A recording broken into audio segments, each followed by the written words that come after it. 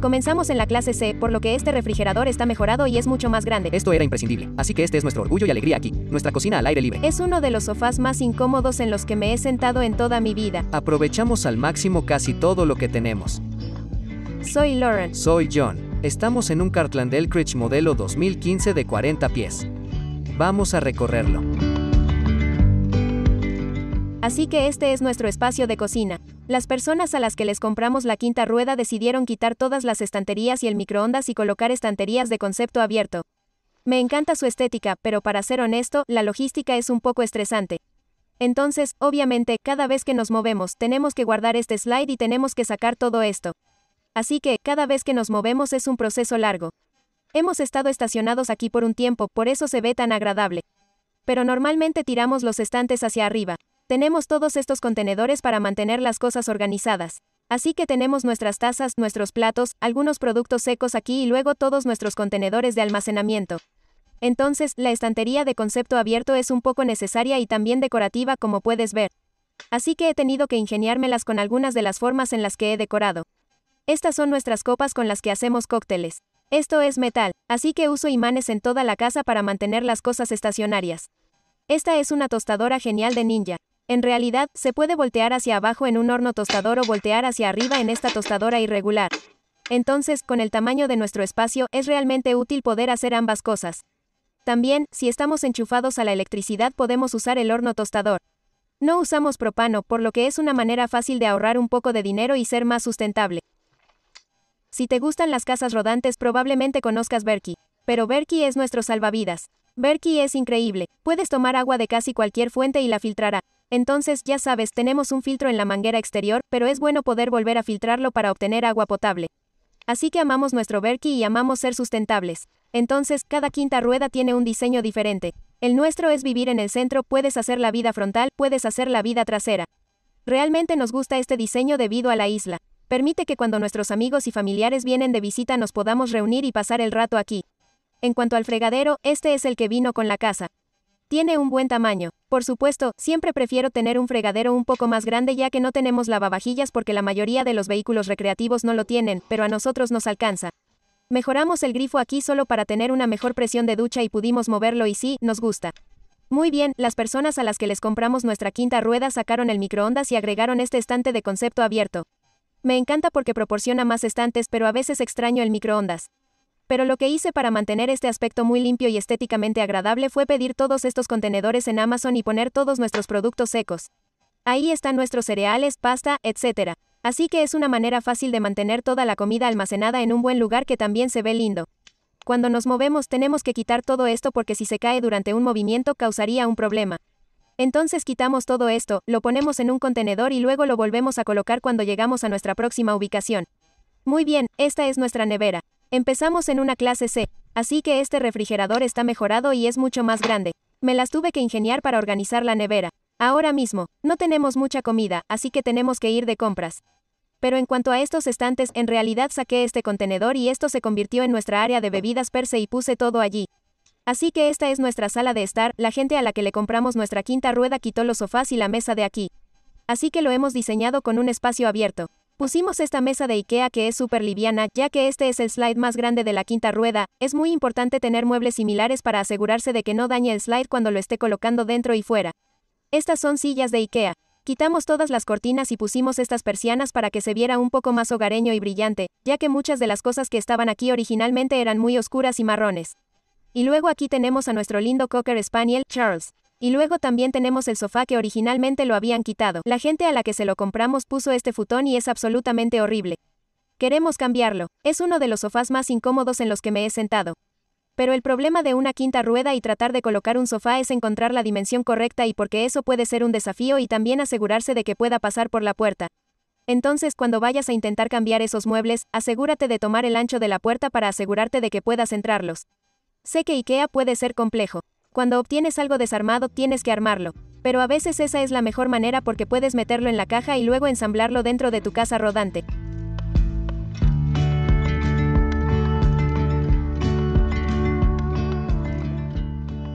Así que nuestro primer viaje, llevamos un par de años casados, pero nuestro primer viaje fue a Islandia. He estado allí por trabajo varias veces. Trabajo para Reka Vodka, que tiene su sede en Islandia. Siempre quise viajar por Islandia en una van, así que la convencí de viajar conmigo. Eso fue a los seis meses de novios. Su primera vez acampando. Crecí acampando desde niño, pero no a tiempo completo. Aunque eso realmente plantó la semilla en los dos y luego avanzamos hacia el COVID y luego su enfoque cambió. Caíste en el vórtice de YouTube de Tiny Living, RV Living, Van Life y luego esto se convirtió en lo que es hoy. Sí, cuando tengo una idea en mi cabeza, generalmente la convierto en realidad.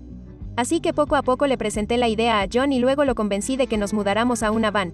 Y luego decidimos que, en lugar de una van, elijamos una clase C solo para tener un poco más de espacio.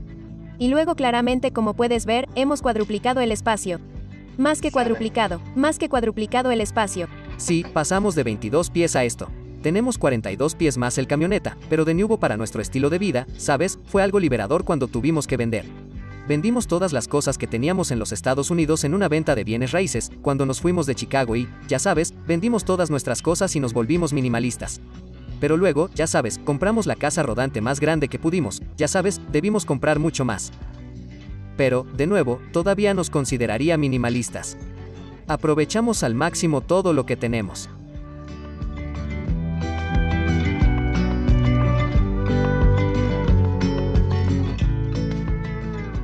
Así que estamos en nuestra habitación trasera.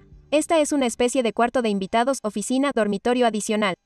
A veces hago ejercicio aquí si está lloviendo. Así que aquí es donde trabajo. A veces, mi esposo también trabaja desde aquí. Y aquí arriba verás nuestro tocadiscos. Mi esposo y yo amamos los discos. Así que los hemos recopilado a lo largo de los años y fue algo que negocié para traer a la casa rodante a pesar de que vivimos en una casa pequeña.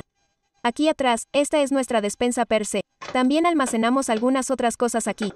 Pintamos esto para hacerlo un poco más brillante y hogareño, obviamente, un montón de comida. Tenemos nuestro equipaje aquí arriba y luego aquí abajo tenemos un pequeño espacio de almacenamiento adicional que está bastante bien. Aquí es donde guardamos todo nuestro papel higiénico, toallas de papel y todas esas cosas. Tenemos una mezcla de dos baños completos aquí en esta quinta rueda. Así que tenemos un lavabo, un inodoro, una ducha bastante básico. En realidad tenemos dos puertas de entrada. Entonces tenemos una aquí atrás que tiene escaleras que se doblan hacia abajo y luego obviamente tenemos la entrada principal en el frente. Así que es bueno que cuando tenemos invitados la gente pueda venir aquí y entrar por la parte de atrás en lugar de tener que entrar por la puerta principal. Esta es nuestra habitación de invitados. Aquí pueden dormir dos personas. Esto es un poco pequeño para un adulto. Entonces, a veces se convierte en almacenamiento o si vienen a visitarnos nuestras sobrinas y sobrinos pueden dormir allí. Coloqué estas cortinas para poder cerrar el espacio. Y luego aquí abajo hay solo una cama doble. Ahí es donde la mayoría de nuestros amigos duermen si vienen a visitarnos cuando estamos de viaje. Muy bien, así que bienvenidos al dormitorio principal. Este espacio ha sido completamente renovado. El modelo original era muy oscuro y algo sombrío, así que decidimos pintarlo y darle un nuevo giro. Así que pintamos todo esto de blanco, pintamos las paredes. Este es un color verde azulado. Y luego aquí también rehicimos este muro y pusimos este cartel que en realidad es el primer parque nacional al que viajamos hace dos años. Una de las cosas sin las que ahora no puedo vivir es un almacenamiento debajo de la cama. He sido muy creativa para poner muchas cosas aquí.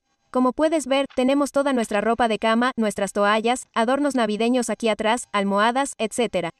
Así que este es un gran espacio para poner todas esas cosas que debes almacenar cuando no las necesitas. Tiene espacio de guardarropas. Muy bien, entonces este es nuestro otro baño.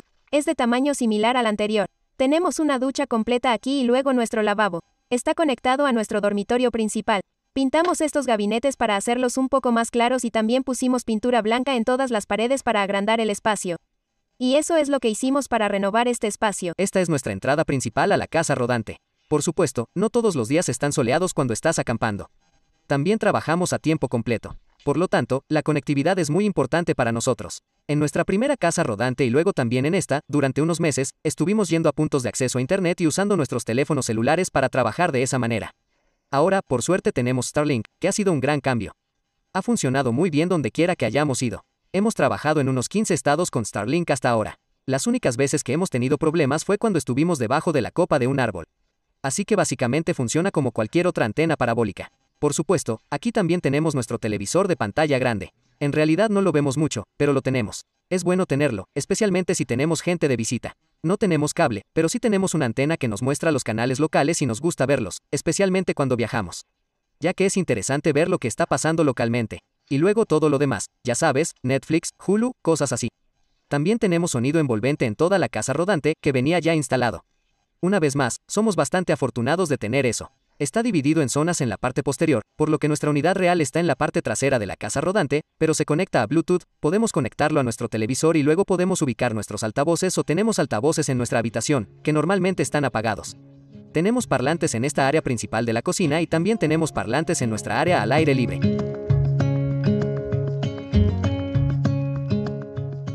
Por mucho que amemos esta quinta rueda, también nos gustaba nuestra clase C. El único inconveniente que hemos experimentado con la quinta es que es muy larga. Muy larga. Realmente disfrutábamos con nuestra clase C poder ir, ya sabes, subir a los Grand Tetons, ir a todos los rincones y grietas del país. Con esta tenemos que estudiar los mapas cuando viajamos para asegurarnos de que no vamos a tener curvas cerradas o de que no tendremos que subir montañas.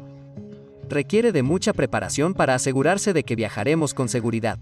Así que estamos pensando en venderla, pero creo que con el estilo de vida, ya sabes, nos encanta este estilo de vida. Nos encanta viajar, nos encanta la comunidad que existe. Hemos conocido a tanta gente genial con la que no estamos de acuerdo, gente con la que, ya sabes, normalmente no hablaríamos y, de repente, estás tomando una cerveza o sentado alrededor de una fogata con estas personas.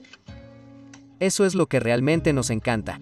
Así que nunca nos veo dejando este estilo de vida pequeño pero, por supuesto, con la posibilidad de formar una familia, con cosas como esa debemos tener en cuenta cuáles serán nuestras necesidades en los próximos años. Creo que lo bueno de esta vida es que no siempre está grabada a fuego. Entonces, ya sabes, dijimos que íbamos a estar de gira durante dos años. Llevamos dos años en la carretera. Eso, por alguna razón, en nuestro cerebro, eso fue el objetivo que queríamos cumplir. Pero ahora que he hecho esta vida y lo hemos hecho juntos y creo que también es muy importante encontrar un cónyuge o pareja si estás viajando. Quiero decir, hay mucha gente por ahí sola y buena suerte para ti. Pero si viajas con tu pareja, solo asegúrate de estar disfrutando vivir en un espacio pequeño con ellos porque aprenden mucho el uno del otro. Pero para nosotros ha sido, ha sido una experiencia realmente increíble y creo que la continuaremos. No sé si será para siempre a tiempo completo. Creo que siempre tendremos algún tipo de vehículo recreativo en nuestra vida, especialmente a medida que crezca nuestra familia y tengamos hijos. Entonces ya sea tener una quinta rueda para sacar los fines de semana o viajar durante los meses de verano y regresar a Nueva Orleans o donde sea que sea. Pero, de nuevo, se remonta a por qué elegimos esta vida, es un poco despreocupada y podemos vagar y si nos gusta un lugar podemos quedarnos y si no podemos irnos.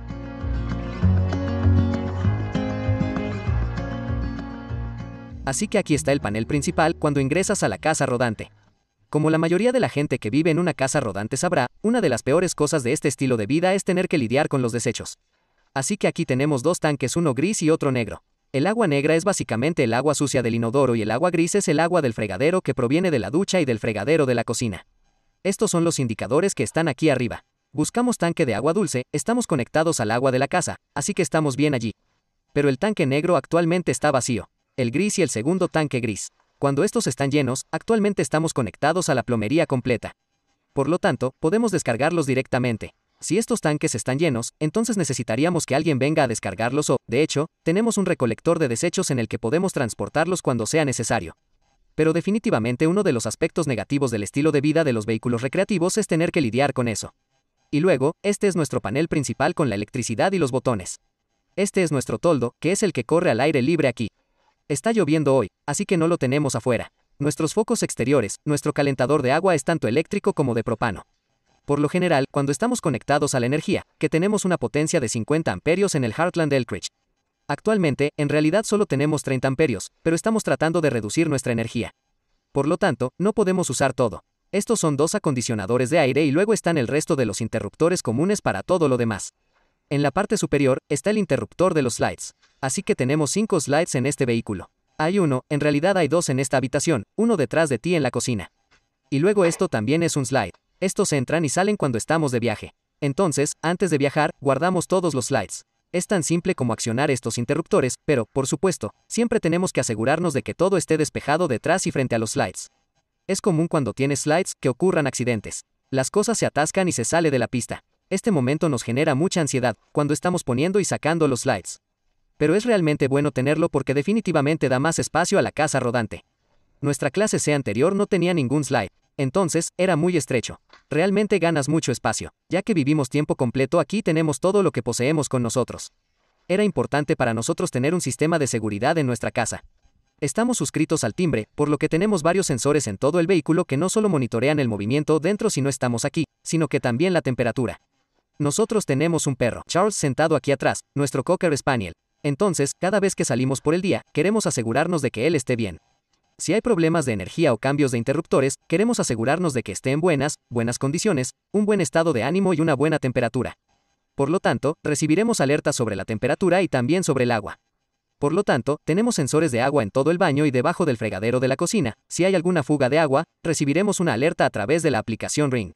Por lo tanto, es una característica realmente agradable no solo por seguridad, sino también por daños por agua.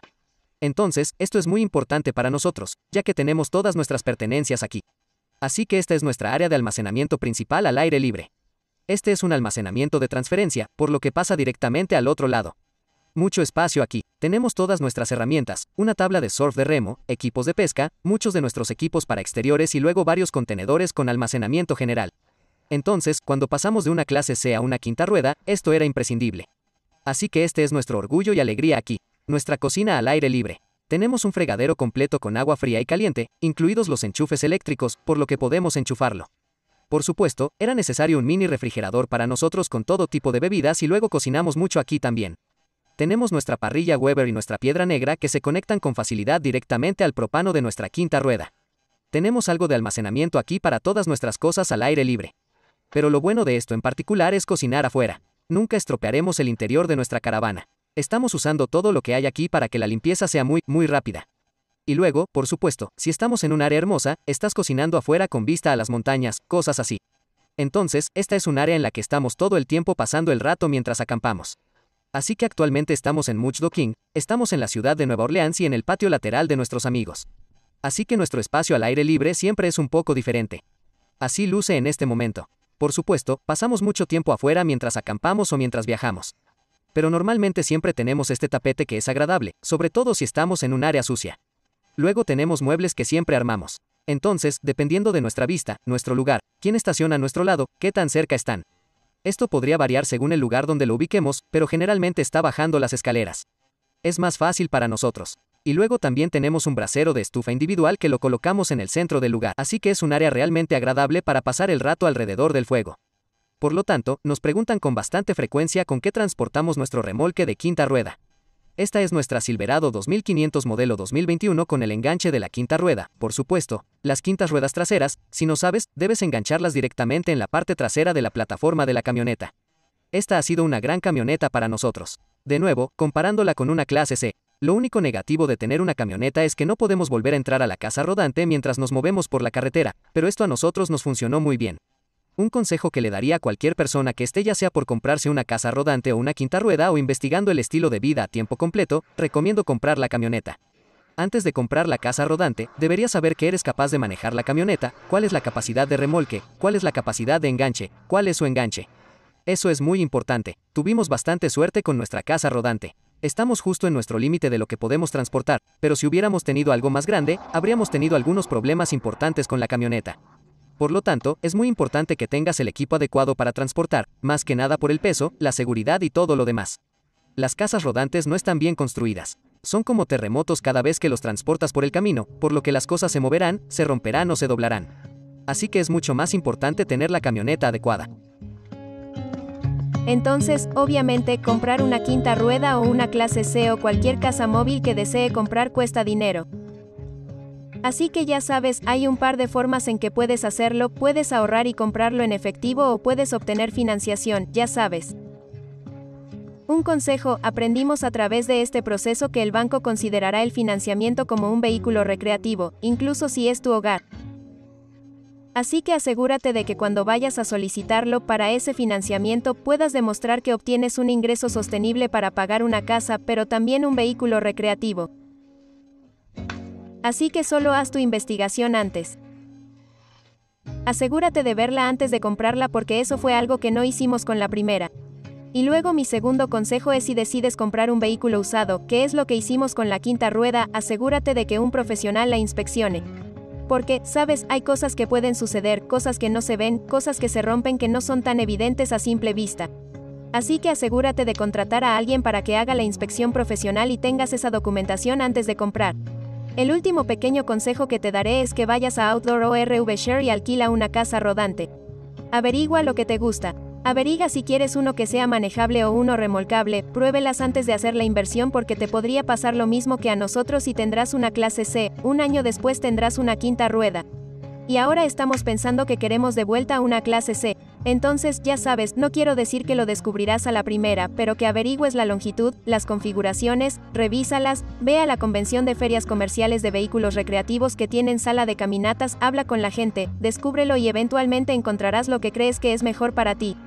Bien, entonces gracias por acompañarnos hoy. Somos Wander, On Wheels en Instagram, Facebook, YouTube. Y yo soy Wander, On Wings un piloto de dron y fotógrafo. Y soy organizadora de eventos. Entonces, si deseas planificar algún evento en todo el mundo, contáctanos. O si necesitas alguna fotografía o video con drones, él es tu chico. Cualquier pregunta sobre el estilo de vida, no duden. Envíanos un mensaje por Instagram. Nos encantaría saber de ti. Excelente.